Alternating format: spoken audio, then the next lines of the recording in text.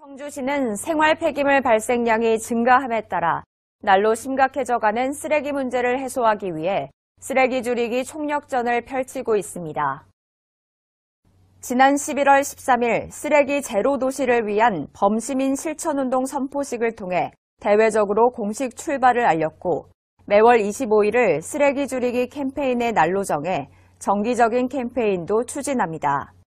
또한 공공기관이 솔선수범하여 일회용품 없는 회의, 행사, 축제를 추진키로 하고 일회용품 줄이기와 재활용 분리배출 활동을 전개하고 있습니다. 개인 물병이나 텀블러 사용하기, 장바구니 사용하기 등 나부터 생활 속 작은 실천 의식이 지구를 살릴 수 있습니다. 쓰레기 줄이기 시책에 시민 여러분의 동참을 부탁드립니다.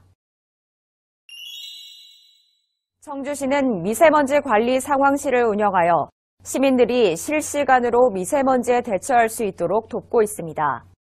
전광판과 미세먼지 알림이 신호등에 대기 오염들을 표출하고 미세먼지 경보가 발령하면 시민 행동 요령을 전파합니다. 살수차와 흡입차를 주요 도로에 상시 운행하고 있으며 고농도 미세먼지가 발생하면 공공기관 차량 이부제, 공사장 공사시간 단축 조정을 실시하고 내년부터는 배기가스 5등급 차량 운행을 제한합니다. 시민 여러분께서도 미세먼지 없는 맑은 청주 만들기에 적극적인 참여를 부탁드립니다. 시민 누구나 믿고 마실 수 있는 수돗물 공급을 위해 청주시가 노후 상수도관 정비에 들어갑니다. 내년부터 낭성, 미원 등 읍면 지역의 노후 상수도 정비를 실시하고 시내 주요 상수 관망 스마트 관망 관리 시스템 구축, 청주 전 지역 노후 상수 관망 정밀 조사, 상수관 노후 지역 노후관 개량을 추진합니다. 청주시는 안정적이고 깨끗한 수돗물 공급을 위해 최선의 노력을 다하겠습니다. 상수도관 공사로 인해 다소 불편함이 있더라도 시민 여러분의 양해를 바랍니다.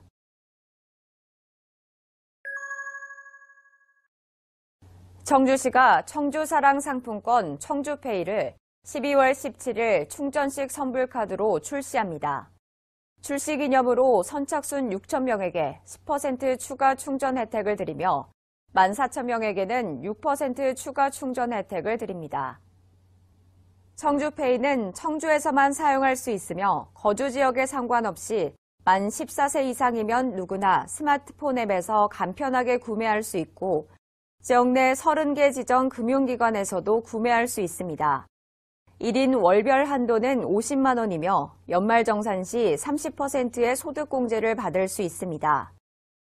사용처는 청주 소재 신용카드 사용이 가능한 학원, 미용실, 카페, 병원, 주유소, 전통시장 등 모든 점포입니다.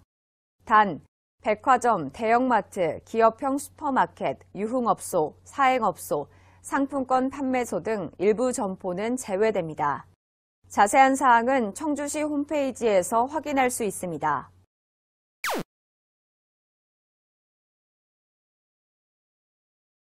박꿈 청원 청소년 문화의 집이 청원구 내덕동에 문을 열고 청소년들을 맞이합니다. 박꿈은 바글바글 꿈터의 줄임말로 또래와의 소통으로 공동체 의미를 찾고 미래 진로 꿈을 바꿀 수 있는 기회의 공간이란 뜻이며 공식 명칭은 청원 청소년 문화의 집입니다. 1층에는 동아리실, 북카페, 바리스타실, 2층에는 요리 연습실, 댄스 연습실, 문화 놀이터 등을 갖췄습니다. 이곳에서 청소년들은 동아리와 봉사단 활동을 하고 4차 산업혁명 특화교육에 참여하며 문화활동을 즐길 수 있습니다. 지역 청소년 여러분의 많은 관심과 이용을 바랍니다.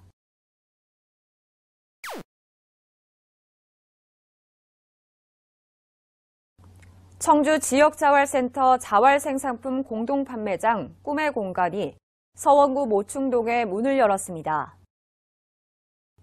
이곳은 자활근로에 참여한 저소득층이 자립과 자활을 목표로 참여해 땀과 열정으로 만든 물품을 시민들에게 선보이는 뜻깊은 공간입니다.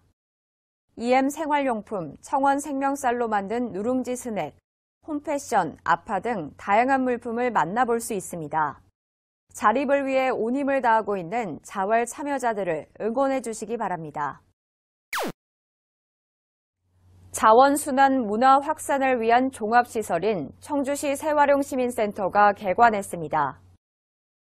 청주시 주성동에 위치한 청주시 새활용 시민센터는 지하 1층과 1층에 재활용 판매장, 2층에 전시 홍보관실과 교육실, 3층에 새활용 공방과 새활용 체험 실습실을 갖추고 있습니다. 센터에서는 자원순환 전문 인력 양성, 시민 실천 교육, 체험 프로그램 운영 등을 통해 시민 실천 문화 확산, 자원순환 산업 지원, 지역 네트워크 구축 사업을 추진하고 있습니다. 폐자원을 순환 이용하여 쓰레기 발생량을 줄이고 지속 가능한 자원 순환 도시 청주 조성을 위한 종합시설인 청주시 새활용 시민센터에 시민 여러분의 많은 관심과 참여를 부탁드립니다.